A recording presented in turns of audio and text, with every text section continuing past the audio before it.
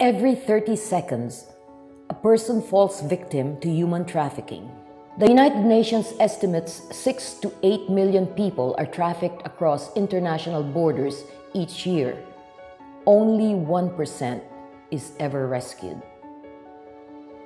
นะครับแล้วก็ 25%ของการค้ามนุษย์มาจากประเทศอาเซียนแอร์เชียฮับของเราเรามีหลายฮับมีหลายประเทศ เราบินอยู่ทั่วภูมิภาคอาเซียน NGO workers tell us that they've rescued many people who were trafficked on our flights. It could have been somebody just on your flight, and it could have been somebody sitting next to you. And more disturbingly, we find more children being sold now. I was on duty at the check-in counter when a couple approached to check in with the boy. He was crying non-stop and he kept pushing the couple away. Something told me that it wasn't right. So I called in security who brought the couple aside for questioning. Later I found out that this boy was a victim of human trafficking. I couldn't imagine what would have happened if I wasn't there doing my part. Saat itu saya sedang menyajikan makanan di pesawat dan melihat seorang gadis yang terlihat sangat ketakutan.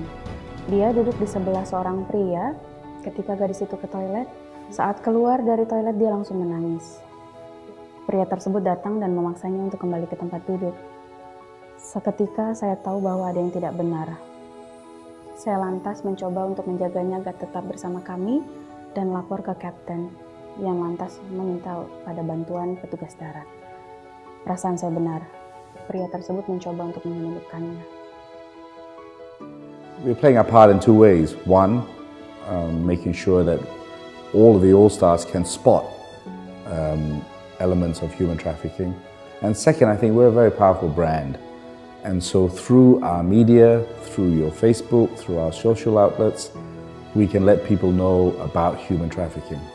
So please put your 150% effort into this. So we got to stand up and be counted and uh, make a difference. Thanks a lot.